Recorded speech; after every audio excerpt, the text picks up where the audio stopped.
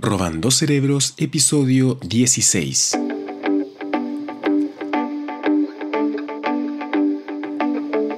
Y en este capítulo vamos a ver un tema que a mí me apasiona particularmente y que tiene que ver con nuestra respuesta a la novedad. ¿Cómo se comporta el cerebro ante cosas nuevas que surgen en tu entorno, por ejemplo?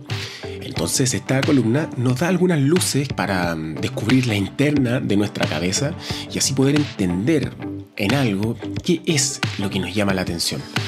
¿Sí? Em, esta es una súper interesante columna de Jason Rea y que descubrí en una página web que se llama getreview.co. Pero, como siempre en las notas del programa, voy a poner el enlace de este artículo o columna. Entonces, nada, espero que la disfruten. Esta columna se llama ¿Por qué nuestras mentes conscientes son fanáticas de la novedad? ¿Por qué las recompensas variables, en algunos casos, pueden ser efectivas? ¿Por qué la variabilidad sería incluso seductora en primer lugar? Bueno, Pensemos por un momento en el propósito de la atención consciente frente o versus al funcionamiento automático habitual. Los hábitos son, simplemente, soluciones confiables a problemas recurrentes en nuestro entorno. A ver, imagina que acabas de empezar a trabajar en un nuevo edificio de oficinas. No tiene cafetería, entonces tienes que salir a almorzar todos los días. El primer día Caminas afuera, siento a recorrer y te encuentras con un puesto de falafel a un precio razonable y obviamente razonablemente delicioso. Estás satisfecho con tu compra. Al día siguiente, cuando vuelves a sentir hambre y tienes que almorzar, se te viene a la cabeza la idea de esa jugosa envoltura de pita del falafel. Entonces usted va a ir de regreso. De vez en cuando pruebas algún nuevo lugar con algunos compañeros del trabajo, pero ese carrito de falafel se convierte súper rápido en tu lugar preferido. Todos tenemos un lugar como este.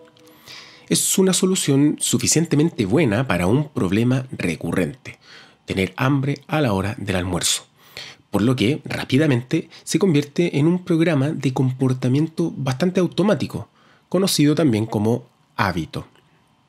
También otra cosa que ocurre es que tiendes a pedir lo mismo día tras día en este lugar.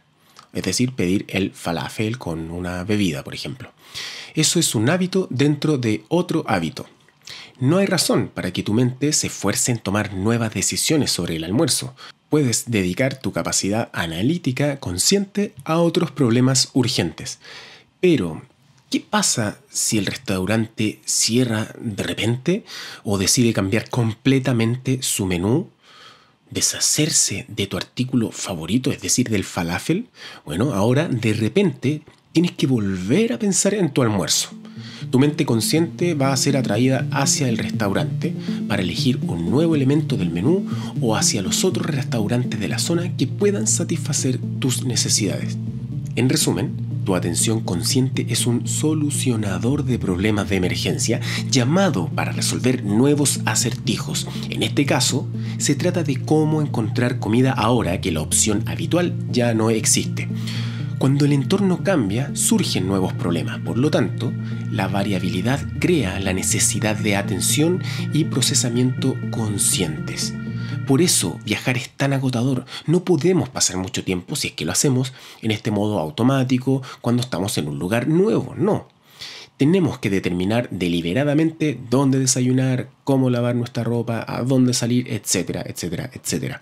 Entonces, ahora que se comprende por qué la variabilidad nos llama la atención, quiero sumergirme en las recompensas variables por un momento. Decimos que una recompensa es variable cuando solo se entrega de forma intermitente en respuesta a un comportamiento. El ejemplo clásico es la máquina traga monedas. No eres recompensado por cada tirón de la palanca, no. Solo vas a ganar un porcentaje del tiempo, o sea, a veces.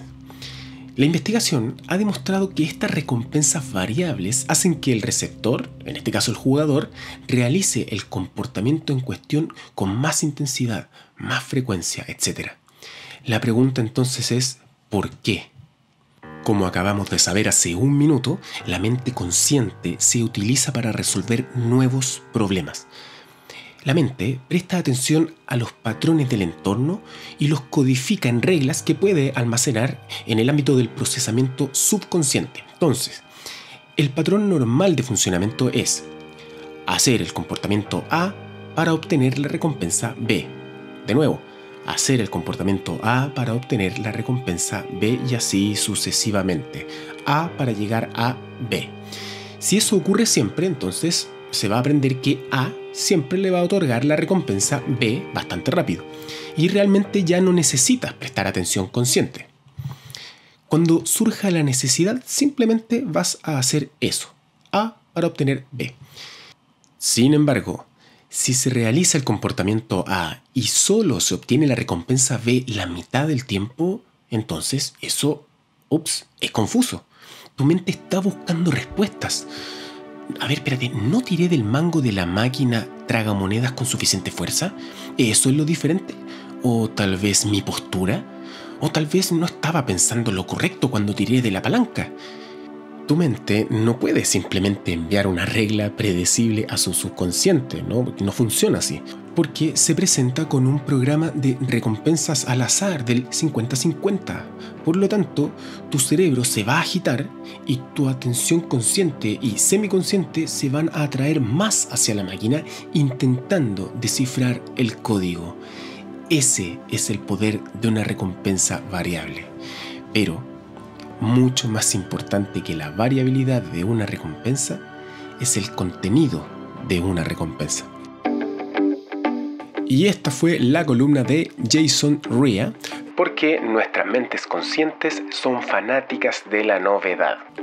Si quieren sugerir alguna columna, algún artículo que crean pueda ser interesante para el resto de la comunidad, no duden en escribir a robandocerebros.profecristian.com. Nos escuchamos en un próximo episodio. Chao.